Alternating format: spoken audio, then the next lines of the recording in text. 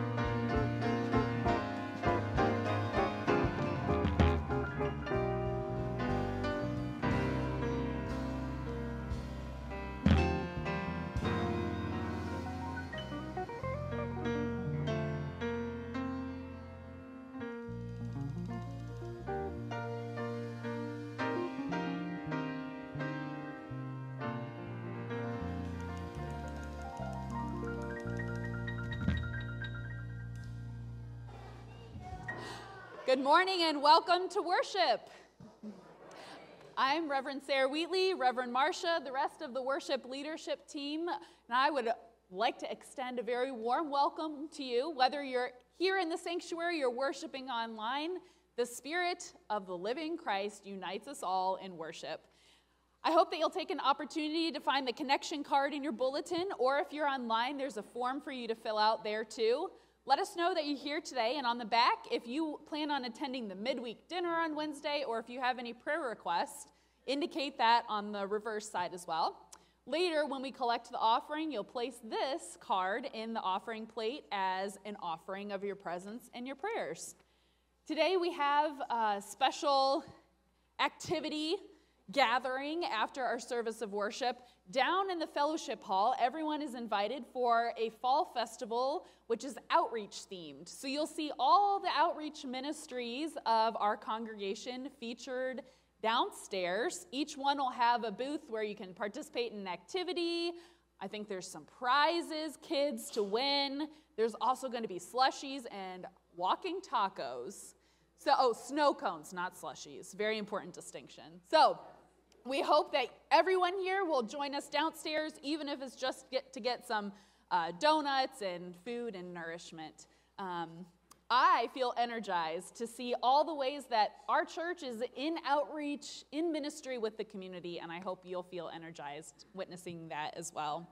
If you're with us for the first time today, very warm welcome to you. I hope that you will not only fill out the connection card, but you'll uh, make your presence known to us at the end of the service so that we can greet you more personally. With that, everyone, let's rise and sing our opening song, which can be found in your black songbook if you'd like the notes.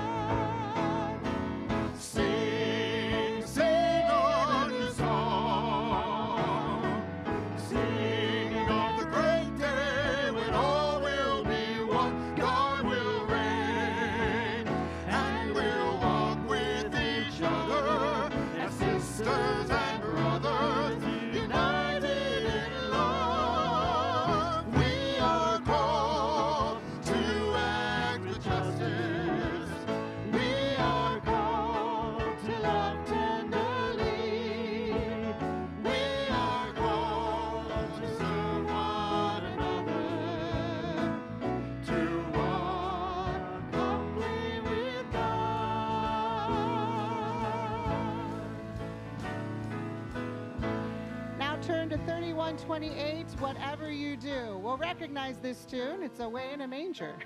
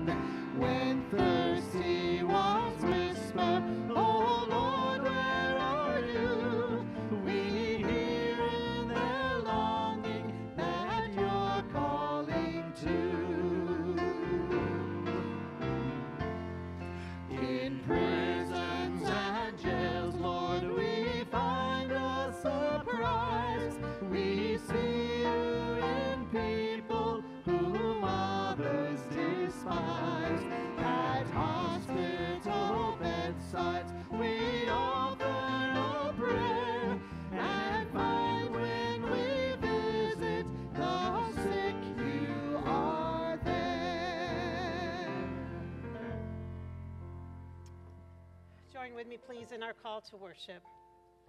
Come, followers of Christ, called to live out the mission of love and compassion. We gather to serve, to lift up the broken, to welcome the stranger, and to share God's grace. Jesus said, Whatever you did for the least of these, you did for me. Today we come ready to see Christ in the faces of those in need. We come ready to feed the hungry, clothe the naked, and care for the sick.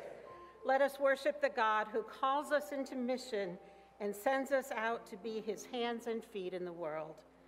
Together, we answer the call of Jesus to be people of justice, mercy, compassion, and love. Let us continue.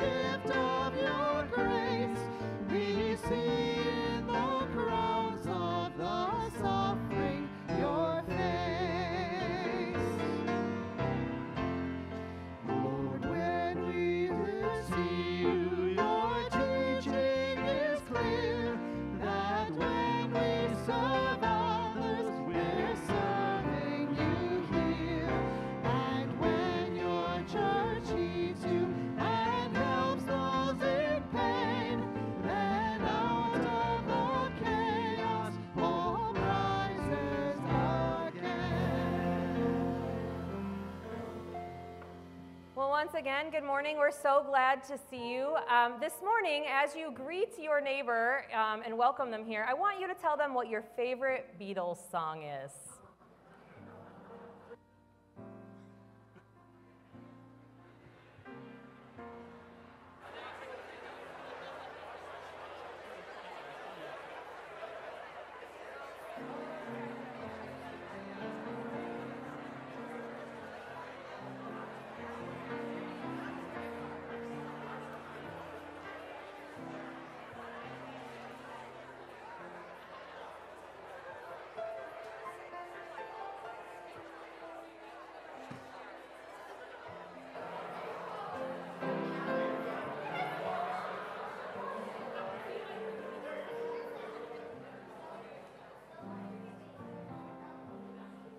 We're so glad to see such a lively crowd. It sounded like there was some good debate out there. So, my name is Rachel Lunning. I'm the Children and Family Ministries Director here at First United Methodist Church. And um, I just wanted to highlight some of the announcements, some of the things that we have coming up here. Um, as always, you can find everything going on uh, in the next couple of months in your order of worship or online on our website or on the church app. Um, so, first of all, you heard Pastor Sarah talking about our autumn outreach fair today. If you were worried that we wouldn't have donuts because it's not our normal connection time, have no fear. There are still donuts that you can purchase downstairs in addition to the walking tacos and the snow cones and all the other good things that are going on. So make sure you check that out. It is directly after worship today downstairs in the fellowship hall. Also, today um, is our crop walk for hunger. We're joining that. It starts today at 1 o'clock at Bicentennial Park in Livonia. Um, the, crop, the crop hunger walk raises funds to provide meals for those who need them in local communities. Um, and it supports programs that create greater food security all around the world. So you can either um, support that by walking or by donating. There will be a table today at the outreach fair so, um, for the crop walk. So if you want to learn more about that, um, you can stop by that table. Uh, coming up tomorrow is our senior lunch bunch. So if you would like to have lunch, um, you can meet them at the Sports Den in Northville at 1 p.m. Um, and it's just a nice chance to get together and have some fellowship time and visit with each other. And starting next Sunday, um, we have a new class. It's called Making Sense of the Bible. It is based on uh, Reverend Adam Hamilton's book, Making Sense of the Bible Rediscovering the Power of Scripture Today. Um, so, the class is designed to help you understand this book and um, your questions and conflicts about the Bible and open your eyes to a faith that works for both your heart and your brain. Um, so you can register for that um, on the church website or the church app. And if you have questions, you can contact Mark Lumley. There you are. I was like, I know he's around here somewhere. So you can talk to Mark Lumley if you're interested in that. And that will be Sundays starting next Sunday from 11:15 to 12:30, and it's hybrid. So if you want to do it here, you can. If you want to do it online, you can. Perfect. And lastly, um, we are starting to collect items for our College Connect care bags. Say that five times fast.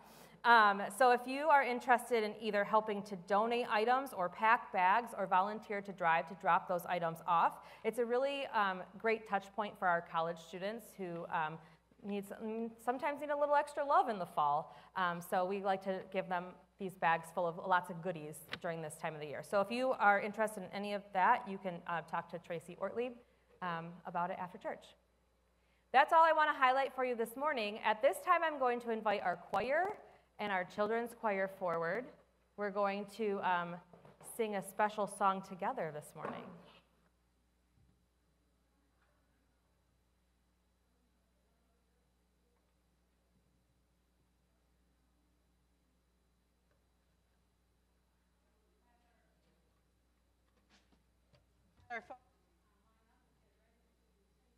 today.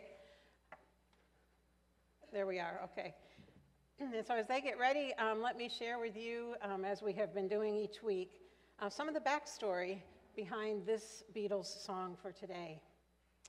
For many, Help is now the definitive Lennon anthem. We think it's one of the best we've written, said John Lennon in 1965 as he contemplated on the band's recent single, which was a commissioned track for their new film, Help. Taking notes from the film's title, there's a good chance that this song could have easily passed fans by, but digging only a little deeper, it quickly became prevalent that this was Lennon's most personal song to date. Lennon clarifies his point. It was just me singing Help, and I meant it, you know. I don't like the recording that much, the song I like. We did it too fast to try and be commercial. But when help came out, I was actually crying out for help. Most people think it's just a fast rock and roll song. I didn't realize it at the time. I just wrote the song because I was commissioned to write it for the movie. But later, I knew I really was crying out for help. It was a moment when Lennon's old personality, his old way of being, was beginning to lose out to the pop star the band had created. With the benefit of hindsight, it was clear to Lennon that something was wrong, a notion shared by his friend and songwriting partner, Paul McCartney. You know, McCartney said, John wrote, Help, I need somebody. And I thought, well, it's just a song. But it turned out to be a cry for help. The song has gone on to not only rank highly among the Beatles' best, but also among Lennon's most heartfelt performances. Help.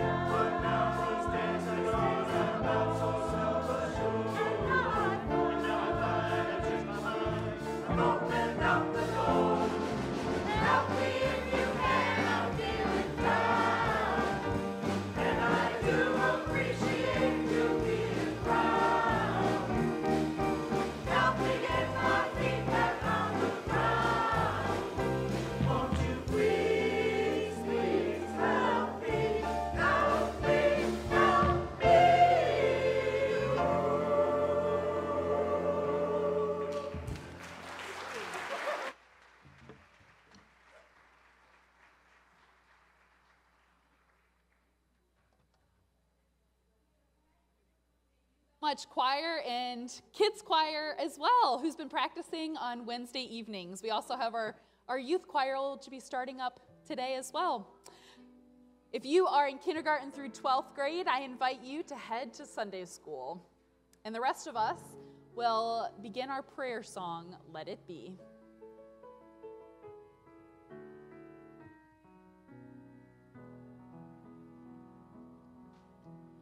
When I find myself in times of trouble, graciously God comes to me, speaking words of wisdom, let it be.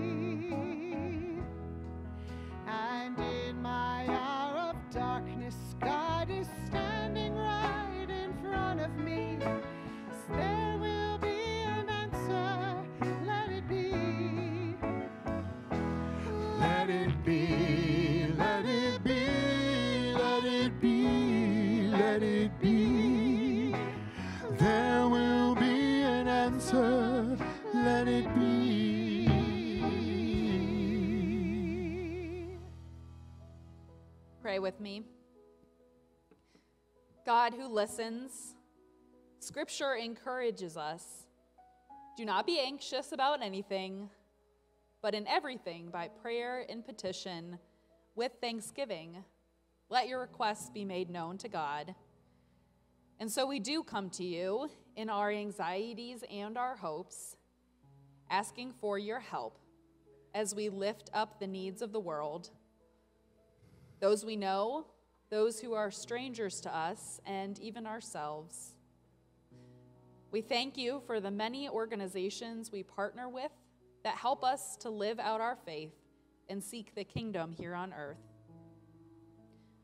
God, the stories of Jesus show us how much you care about physical needs. And so we ask for your help in meeting the physical needs of people hunger and thirst and nutrition access to doctors and medicines, jobs that provide enough income to support a family and allow for rest within a week, safe and warm shelter, and a place to live without fear of violence or harm, disaster, or being uprooted. And for each of these stories about Jesus meeting physical needs, there was an aspect of spiritual care too. Tend to the spirituality of your people, God. Reassure all of us how much you love your children in a way that can never be taken away. Create communities of belonging where people aren't forgotten and are celebrated. Raise up mentors who invest in others' lives. Connect us to a deeper purpose and reason to wake up each morning with gratitude and a heart of service. And we ask that you fill us with peace, contentment, and freedom to choose kindness and generosity. As we gather this morning, God, help us meditate on the reality that when we serve others, we are actually encountering you and let that truth spur us on to be helpers in your name. We ask all this in the name of Jesus, our brother, as we offer his prayer. Our Father, who art in heaven, hallowed be thy name. Thy kingdom come, thy will be done, on earth as it is in heaven. Give us this day our daily bread, and forgive us our trespasses, as we forgive those who trespass against us and lead us not into temptation, but deliver us from evil. For thine is the kingdom, and the power, and the glory forever. Amen. Let it be, let it be, let it be, let it be.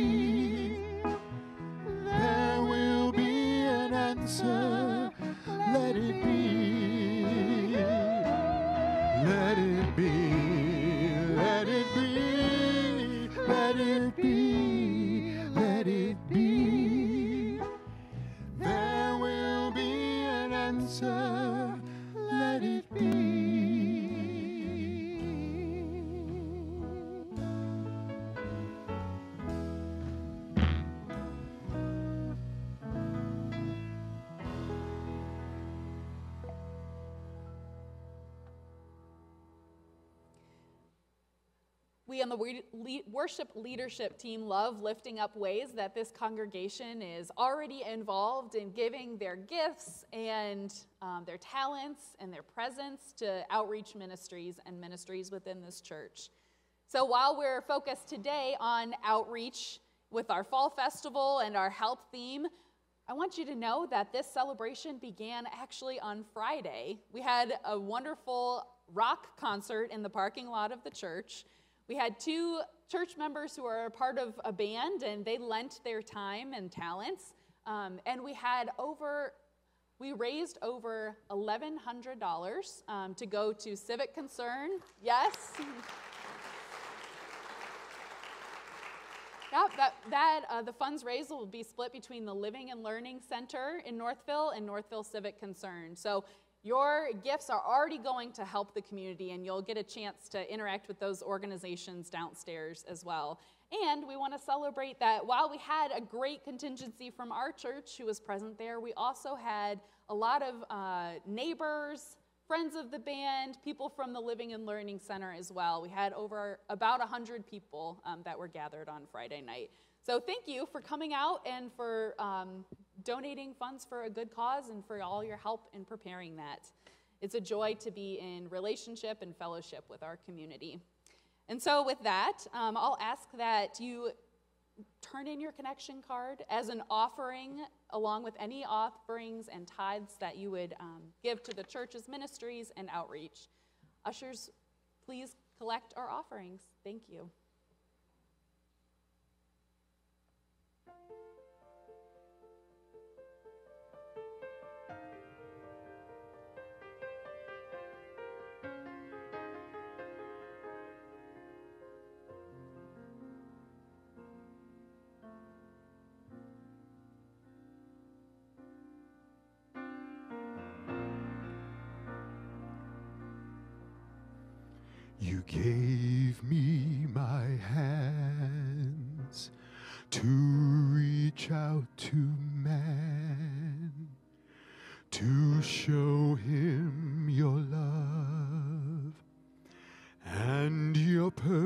perfect plan. You gave me my ears, I can hear your voice so clear. I can hear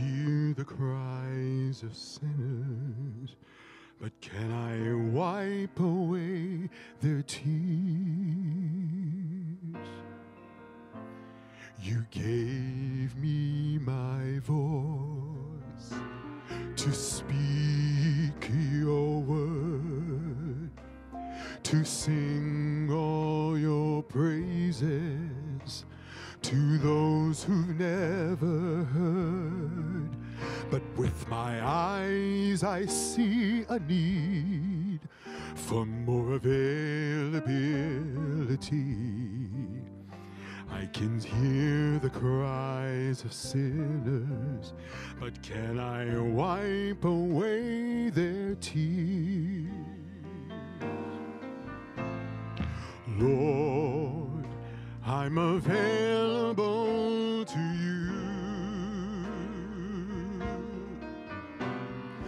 My will I give to you. I'll do what you say do.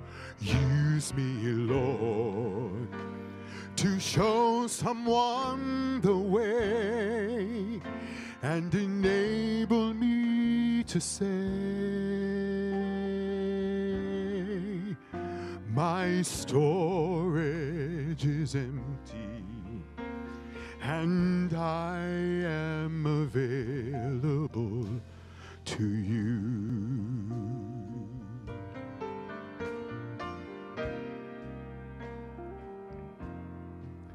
Now I'm giving back to you all the tools you gave to me. My hands, my ears, my voice, my eyes, so you can use them as you please.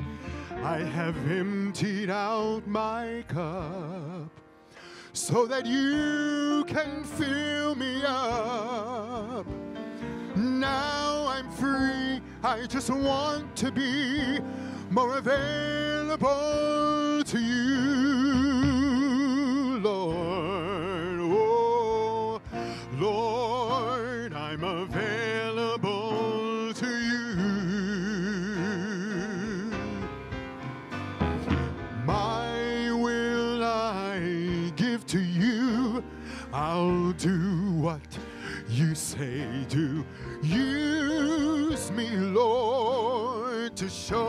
someone your way and enable me to say, My storage is empty and I am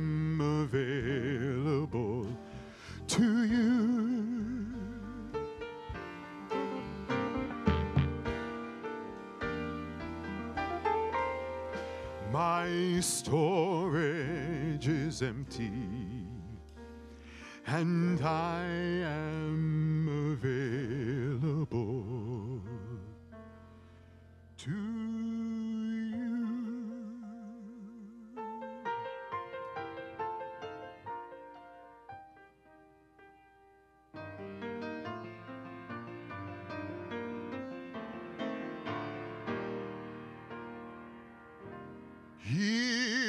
I am, Lord. Here I am. I give all myself to you. Here I am. Here I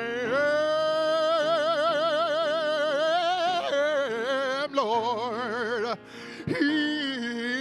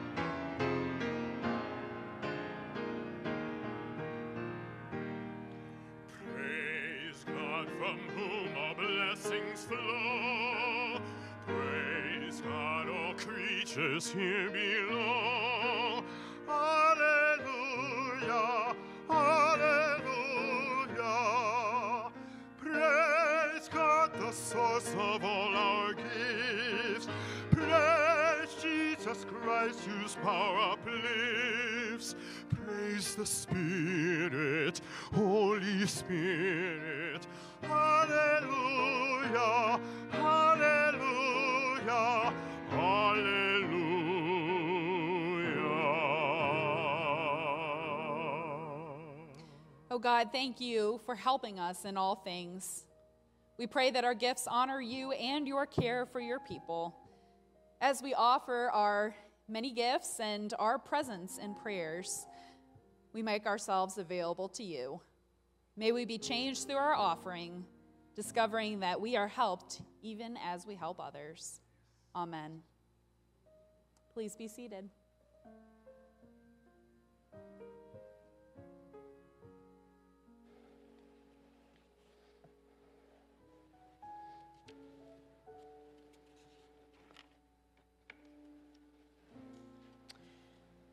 There are those days when your preacher would like to just say amen and let's go home.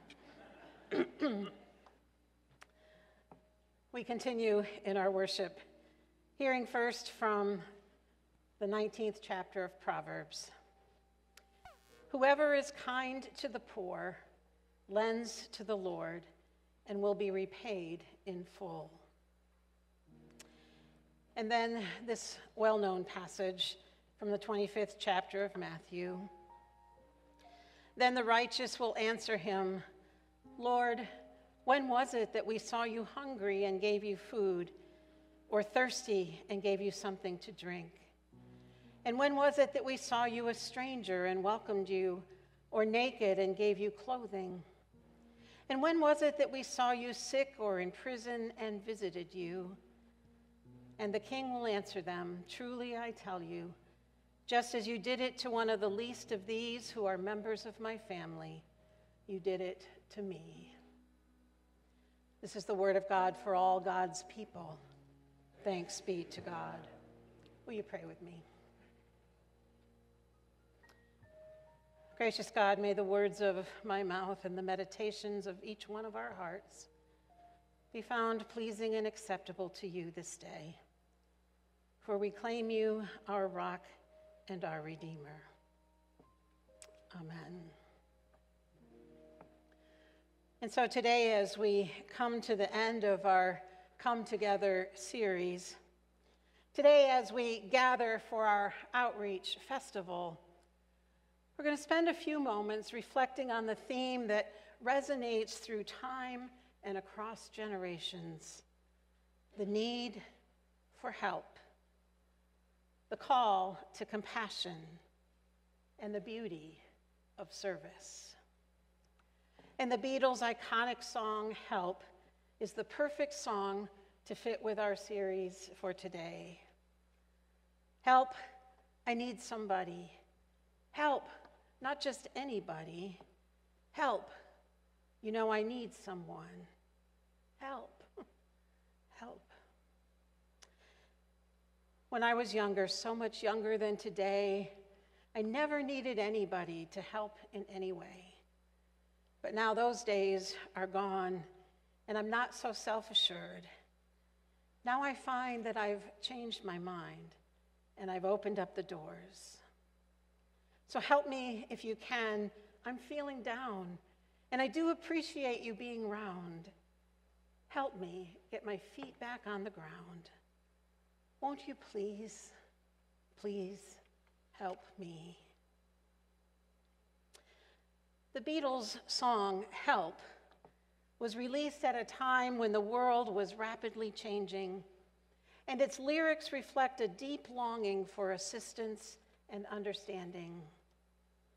The composer calls out, Help, I need somebody, help, not just anybody. And it's a plea that encapsulates our human experience, acknowledging our vulnerability and the importance of community.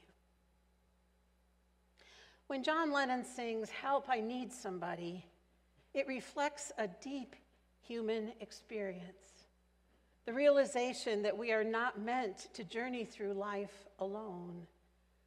We often find ourselves at a crossroads where we need support and encouragement and a helping hand. How often do we echo that cry? Whether it's during times of personal struggle, times of illness, or simply feeling lost. We all reach those moments when we need someone to come alongside of us. In this society where we value our independence, we don't like being in a position of needing help, do we?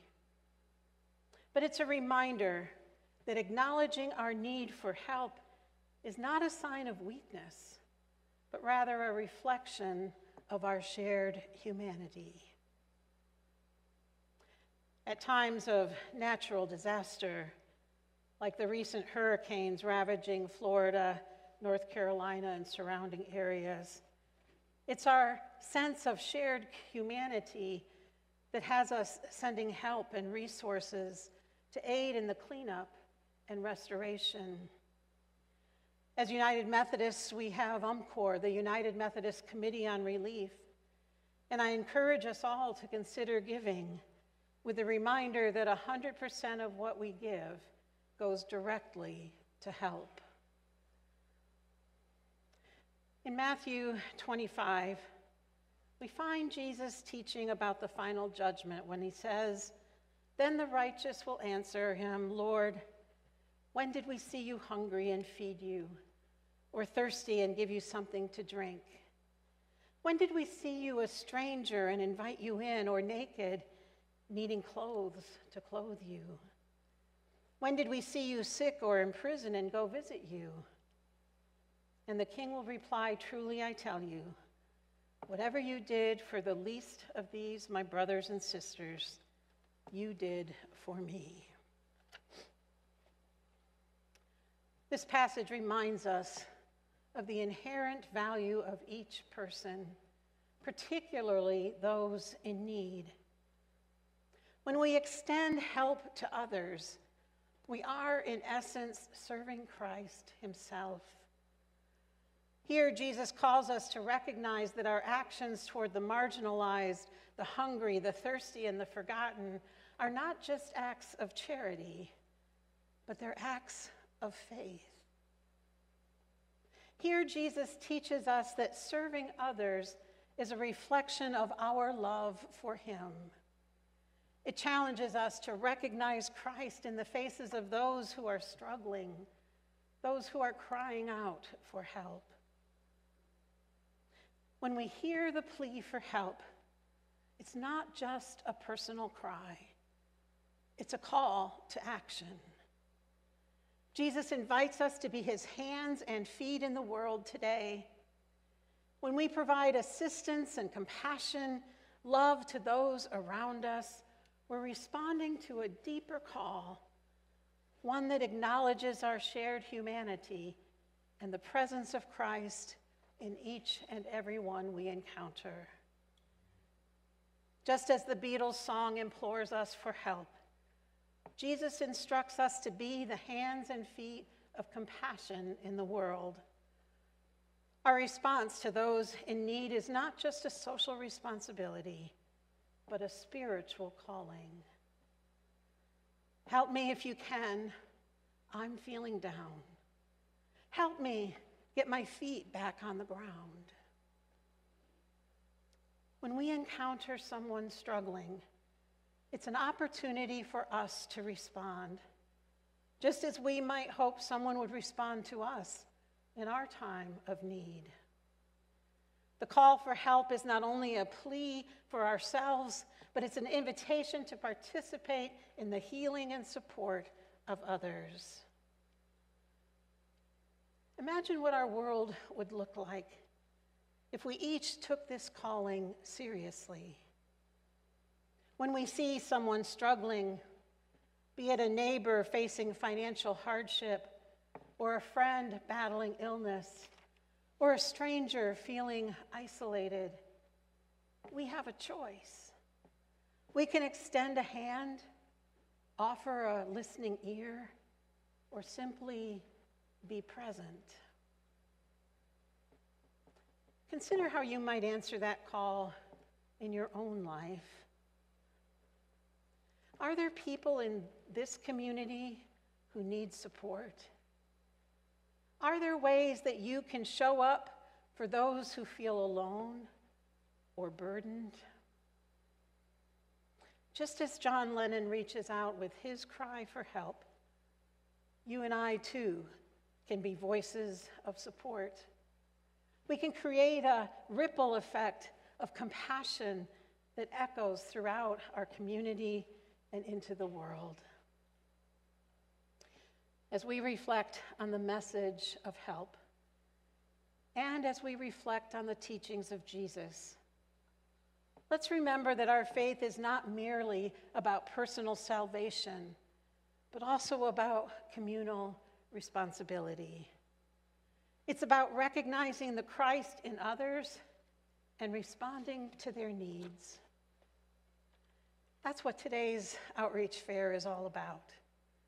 I do hope you're planning to spend some time following this service to visit the various booths, to celebrate the missions we support, and to learn more about where you can be of service to others.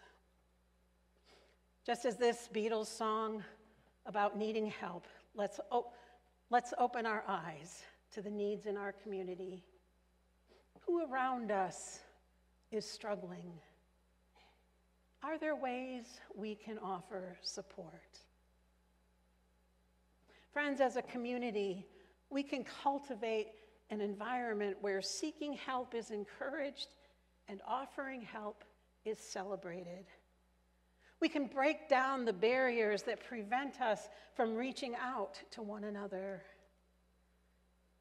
So I invite us to take the plea of help to heart.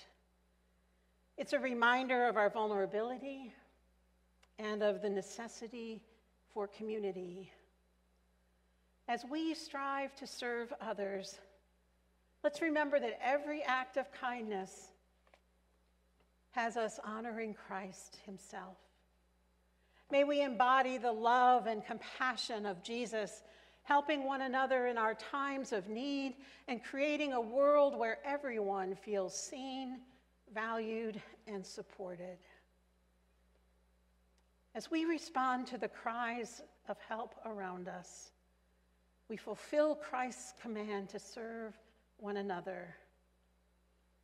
Let's commit to being the hands and feet of Jesus in our community, making a meaningful difference in the lives of those who are struggling. Together, we can create a culture of compassion, a culture of support that reflects God's love to all.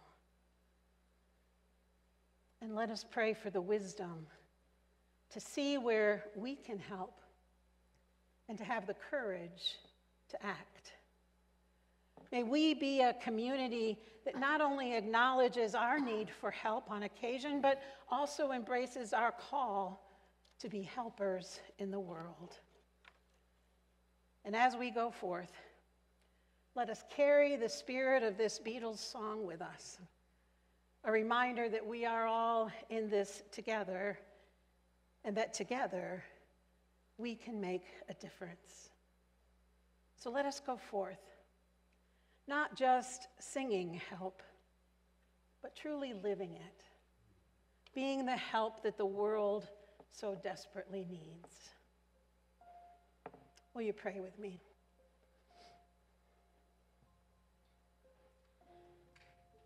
May our coming together be for good, gracious God. Together may we serve you in mighty ways. Help us to use our eyes and ears to listen and to see the needs of others. And then may we be the very hands and feet of Christ, equipped and ready to truly help one another. In Christ's name we pray. Amen. Our closing song is a song of commission. The Spirit sends us forth to serve. Let us stand and sing together.